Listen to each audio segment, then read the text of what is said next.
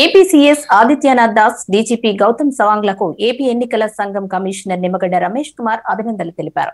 తొలి విడత పంచాయతీ ఎన్నికలు ప్రశాంతంగా జరిపినందుకు పిలిచి మరీ మాట్లాడారు. ఏపీ ఎన్నికల సంఘం కార్యాలయంలో దాదాపు అరగంట సేపు చర్చించారు. ఎన్నికల ఏర్పాట్లు భద్రతా అంశాలు ఉద్యోగుల సమస్యల పరిష్కారంపై సమీక్షించారు.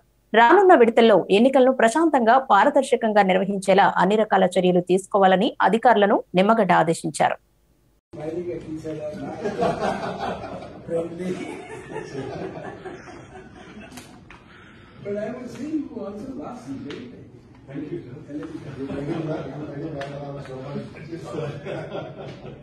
Well, even you contrary to public expectation, I am also not throwing my weight around. I, I lost weight and I can button my jacket now. It was not the case.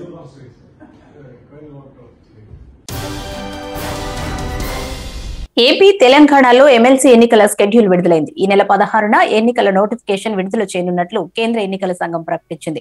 ఆంధ్రప్రదేశ్లో రెండు ఉపాధ్యాయ MLC స్థానాలకు schedule విడుదలైంది. కృష్ణా గుంటూరు తూర్పు గోదావరి పశ్చిమ గోదావరి జిల్లాల ఉపాధ్యాయ MLC ఎన్నికలకు ఈ నెల పదహారున నోటిఫికేషన్ విడుదల కానుంది.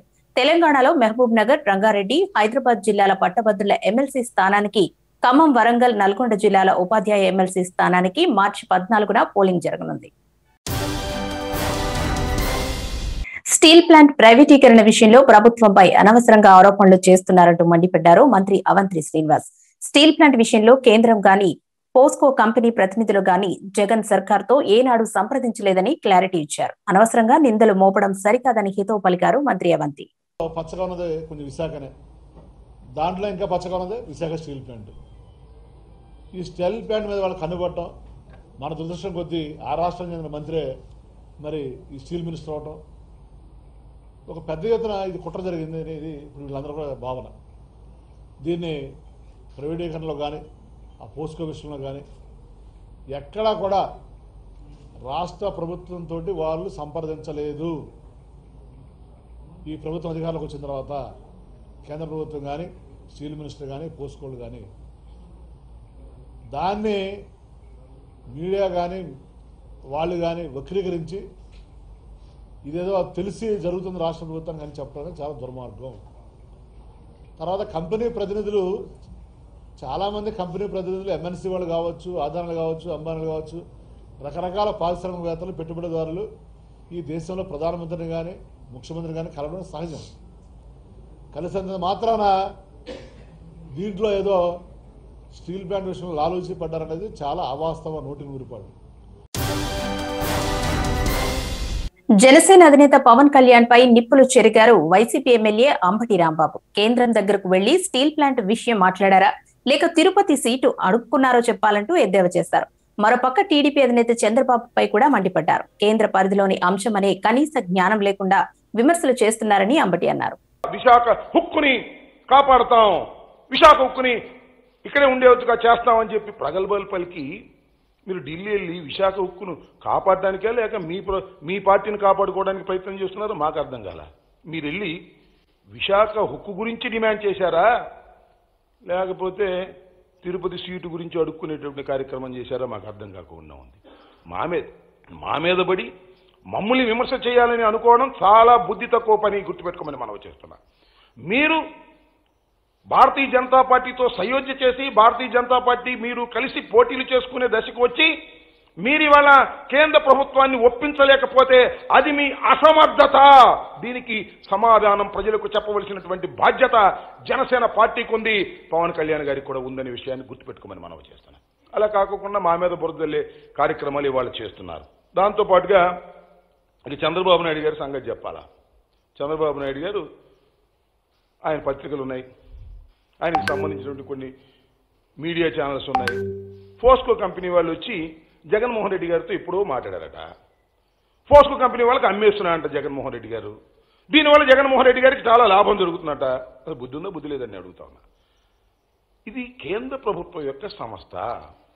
కేంద్ర ప్రభుత్వం యొక్క సంస్థని రాష్ట్ర ప్రభుత్వం ఎలా అమ్ముతుంది జగన్మోహన్ రెడ్డి గారు ఎలా అమ్ముతారు ఈ కామన్ సెన్స్ లేదా మీకు? నేను అడుగుతాను తొలిదశ పంచాయతీ ఎన్నికల్లో వైఎస్ఆర్సీపీ తొంభై శాతం విజయం సాధించిందని దేవాదాయ శాఖ మంత్రి వెల్లంపల్లి శ్రీనివాస్ అన్నారు.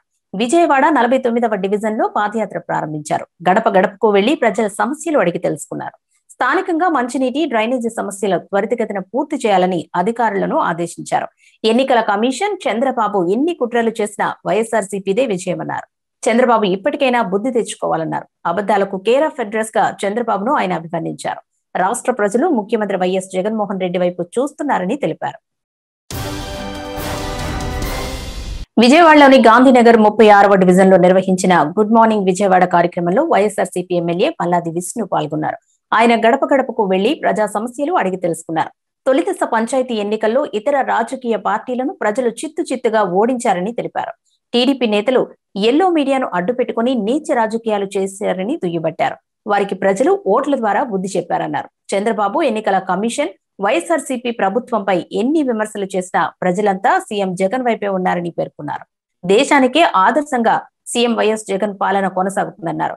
చంద్రబాబు దేవినేని ఉమా అచ్చెన్నాయుడు నీతి రాజకీయాలకు కేరఫ్ అడ్రస్ అని స్థానిక సంస్థల ఎన్నికల్లో వైఎస్ఆర్సీపీ విజయ ఢంకా మోగిస్తుందని విష్ణు తెలిపారు. స్వర్ణకారులను ఆదుకునే బాధ్యత టీడీపీ తీసుకుంటుందని అన్నారు నారా లోకేష్. కేంద్ర రాష్ట్ర ప్రభుత్వాలపై ఒత్తిడి తీసుకువచ్చి మరీ వారిని ఆదుకుంటామన్నారు. ఆర్థికంగా ఎవరికి ఇబ్బందులు రాకుండా చూసుకుంటామన్నారు నారా లోకేష్. ఇంకో పక్కన కేంద్ర ప్రభుత్వం పైన రాష్ట్ర ప్రభుత్వం పైన ఒత్తిడి తీసుకొచ్చి స్వర్ణకారులకి సరైన గుర్తింపు వచ్చే విధంగా అంతేకాకుండా వాళ్ళకి అనేక సంక్షేమ కార్యక్రమాలు గతంలో ఏదైతే ఉన్నాయో అవన్నీ సక్రమంగా అమలు చేయాలని ఒత్తిడి కూడా ఈ ప్రభుత్వాలపైన తీసుకొచ్చే బాధ్యత మేము తీసుకుంటాం. ఇప్పటికీ మెంబర్షిప్ దాదాపు రెండు వందలు దాటింది. మేము మెంబర్షిప్ సంఖ్య కన్నా సేవ ఎంత చేస్తాం అనేది అది మాకు ఒక ఆధారంగా మేము తీసుకుంటాం. ఇంకా రాబోయే సంవత్సరంలో పెద్ద ఎత్తున స్వర్ణకారులకి మేము సేవ చేస్తాం. వాళ్ళని అన్ని రకాలుగా మేము ఆదుకుంటాం. స్వర్ణకారులు వృత్తి వల్ల ఆర్థిక ఇబ్బందులు ఎదుర్కొనే పరిస్థితి లేకుండా ఎవరు ఆత్మహత్య చేసుకునే పరిస్థితి లేకుండా మేము స్వర్ణకారులు ఆదుకుంటాం. దాంట్లో భాగంగా నేను స్వయంగా ఈ సంఘానికి ఐదు లక్షల రూపాయలు రావాలి నేను ఇస్తాను కూడా ఈరోజు ప్రకటించడం జరుగుతుంది. ఒక మంగళగిరి నియోజకవర్గమే కాదు రాష్ట్ర వ్యాప్తంగా ఈ వృత్తిపైన చాలా మంది ఆధారపడి ఉన్నారు. వాళ్ళందరినీ ఆదుకునే దానికి ఒక కార్యక్రమం కింద మేము ముందడిగేస్తున్నాం ఒక మంగళగిరిలోనే కాదు రాష్ట్ర వ్యాప్తంగా ఉన్న నాయకులందరూ నేను కోరేది సొసైటీని మనం కలిసికట్టుగా బలోపేతం చేద్దాం. అన్ని రకాలుగా స్వర్ణకారులు మనం ఆదుకుందామని. పంచాయతీ ఎన్నికల్లో చాలా చోట్ల బెదిరించి ఏకపక్షం చేసే ప్రయత్నం చేశారని ఆరోపించారు నారా లోకేష్. టీడీపీ అభ్యర్థులకు ఫోన్ చేసి బెదిరించారన్నారు. ఇది మొదటి విడత విజయం ప్రారంభం మాత్రమే అన్నారు. అన్ని విడతలు పూర్తయ్యేసరికి పూర్తి విజయం టీడీపీ సొంతమవుతుందని నారా లోకేష్ ఆశాభావం వ్యక్తం చేశారు. చాలా దగ్గర ఏకపక్షంగా అభ్యర్థుల్ని కిడ్నాప్ చేసి ప్రభుత్వ అధికారులతో కావాలని వార్డు సభ్యులకు ఫోన్ చేసి మీకు కేటాయించిన ఇల్లు పట్టాలు వెనక్కి తీసుకుంటాం? మీకు పెన్షన్ రద్దు చేస్తాం. విపరీతంగా బెదిరించారు. ఈ బెదిరింపులు తట్టుకుని ఈరోజు తెలుగుదేశం పార్టీ రాష్ట్ర వ్యాప్తంగా ముప్పై ఎనిమిది శాతం పంచాయతీలు కైవసం చేసుకుంటాం జరిగింది. మనం చూసాం అన్ని రకాలుగా ప్రభా ప్రలోభాలు పెట్టడానికి ప్రయత్నించారు ఏకంగా ప్రభుత్వమే ప్రకటించింది యునానిమస్ చేస్తే మేము ప్రత్యేక నిధి ద్వారా మీకు డబ్బులు ఇస్తామని వాళ్ళు చెప్తుంది ఎందుకంటే మీరు భయపడుతున్నారు? ప్రజా ఆదరణ మీ ఎందుకు మీరు బెదిరిస్తున్నారు? ఎందుకు మీరు మా అభ్యర్థులకు ఫోన్ చేసి విత్డ్రా చేసుకోవాలని కోరుతున్నారు? నా చదువులో చూశాం. ఎన్ని యునానిమస్ జరిగిందో? పొంగులూరు పంచాయతీరాజ్ మరియు గ్రామీణాభివృద్ధి శాఖ మంత్రి సొంత నియోజకవర్గంలో. ఎన్నో అరాచకాలు జరుగుతున్నాయో మనం చూస్తున్నాం. మంత్రి గారు ఎట్లా మాట్లాడారో మనం అందరం చూసాం. ఇలాంటి పరిస్థితులు ఎన్ని ఇబ్బందుల్లో మా నాయకులు కార్యకర్తలు ఇబ్బంది పెట్టినా వారు బలంగా నిలబడారు కనుకనే ఈరోజు మొదటి ఫేజ్లో ఇంత పెద్ద ఎత్తున తెలుగుదేశం పార్టీ పంచాయతీలు కైవసం చేసుకున్నాం రాబోయే రోజు మీరు చూస్తారు కదా ఇది ప్రారంభం మాత్రమే ఇంకా మూడు వ్యక్తుల్లో పెద్ద ఎత్తున పంచాయతీల్లో మళ్ళీ తెలుగుదేశం పార్టీ బలపరిచిన అభ్యర్థులు గెలుస్తాం ఖాయం అని ప్రజలు కూడా విజ్ఞప్తి చేస్తాం. జగన్మోహన్ రెడ్డి ప్రభుత్వం తీసుకువచ్చిన నూతన ఇసుక పాలసీపై నిప్పులు చెరిగారు టీడీపీ నేత మర్రెడ్డి శ్రీనివాసరెడ్డి. భవన నిర్మాణ కార్మికులతో పాటు పలు అనుబంధ సంఘాల కార్మికులు రోడ్డున పడ్డారని ఆరోపించారు. ఆన్లైన్లో ఇసుక కొనుగోలు చేయాలన్నా నో స్టాక్ బోర్డులు తప్ప అక్కడ ఇసుక కనిపించడం లేదని విమర్శించారు. జగన్మోహన్ రెడ్డి ప్రభుత్వం తీసుకొచ్చినటువంటి ఇసుక పాలసీ వల్ల ఈ రాష్ట్రంలో పెద్ద ఎత్తున సమస్యలు వచ్చినాయి. నిర్మాణ రంగం కుదేలైపోయింది. భవన నిర్మాణ రంగంలో పనిచేసేటువంటి కార్మికులు ఇసుక ఆధారిత పనులు చేసేటువంటి కార్మికులు మొత్తం కూడా ఒక్కసారి పనులు కోల్పోయి వారి జీవన ప్రమాణాలు దెబ్బతినిపోయినటువంటి పరిస్థితి మనం చూసాము పదుల సంఖ్యలో భవన నిర్మాణ కార్మికులు ఆత్మహత్యలు చేసుకున్నారు. వందల వేల సంఖ్యలో అపార్ట్మెంట్లు కానివ్వండి భవనాలు కానివ్వండి ఇసుక ఆధారితంగా నిర్మితమయ్యేటువంటి అన్ని సెక్షన్స్ కూడా ఆగిపోయినాయి. ఈ భవన నిర్మాణ రంగం కానివ్వండి ఈ రియల్ ఎస్టేట్ కానివ్వండి ఎప్పుడు ఒంటరి కాదు. దీనికి తోడుగా ముప్పై నలభై అనుబంధ పనులుంటాయి. ఈ మొత్తం కలిసి రాష్ట్రంలో దాదాపు ముప్పై ముప్పై ఐదు లక్షల మంది ప్రజానీకం పనులు కోల్పోయి ఉపాధి కోల్పోయి పనులు లేక బజార్ను పడినటువంటి పరిస్థితి ఈ జగన్మోహన్ రెడ్డి గారు తీసుకొచ్చినటువంటి ఇసుక పాలసీతో వచ్చింది. పైపెచ్చు. ఈ రాష్ట్రంలో మీరు బుక్ చేయండి. గంటలో ఇసుకిస్తానని చెప్పినటువంటి ముఖ్యమంత్రి ఈ రాష్ట్ర ప్రభుత్వం బుక్ చేయడానికి పోతే నో స్టాక్ బోర్డు. జీహెచ్ఎంసీ నూతన మేయర్గా టీఆర్ఎస్ అభ్యర్థి గద్వాల విజయలక్ష్మి ఎన్నికయ్యారు. మేయర్ పీఠం కోసం పోటీ తీవ్రంగా ఉన్నప్పటికీ టీఆర్ఎస్ పార్టీ అధిష్టానం ఆమె వైపే మొగ్గు చూపింది. సీనియర్ నేత కేసీఆర్ సన్నిహితుడు కేశవరావు కూతురైన విజయలక్ష్మి బంజారాహిల్స్ డివిజన్ తొంభై మూడవ కార్పొరేటర్గా రెండు సార్లు ఎన్నికయ్యారు.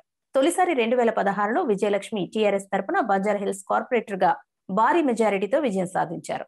అప్పటి నుంచి బంజారాహిల్స్ డివిజన్ అభివృద్ధి కోసం కృషి చేస్తున్నారు. తాజాగా జరిగిన మున్సిపల్ ఎన్నికల్లో మరోసారి విజయం సాధించి ఈసారి ఏకంగా మేయర్ పదవిని అలంకరించారు. డిప్యూటీ మేయర్గా ఎన్నికైన మోతే శ్రీలత తార్నాక డివిజన్ నుంచి గెలుపొందారు.